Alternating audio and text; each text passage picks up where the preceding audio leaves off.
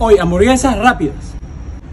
Hoy tenemos un pack hamburguesero, brioche, queso cheddar y cebolla caramelizada de Gonzalo Smoker Barbecue. Carón presidio, brasa baja, los pondremos un poco de sal y le daremos 5 minutos por lado. Miren nomás qué rico doradito. Le damos vuelta, 5 minutos más y le pondremos el quesito. Ahora lo pasamos a un fuego indirecto junto con los panes brioche. Agregamos al carbón gastillas del garrobo y tapamos por 10 minutos. 10 minutos después llegará el sabor de la leña. Ahora nos toca armar esta belleza. Cuatro panzazos con hamburguesa, queso y cebolla caramelizada. Se me hace agua en la boca. Estaba muy pero muy rico, en verdad te recomiendo que lo pruebes.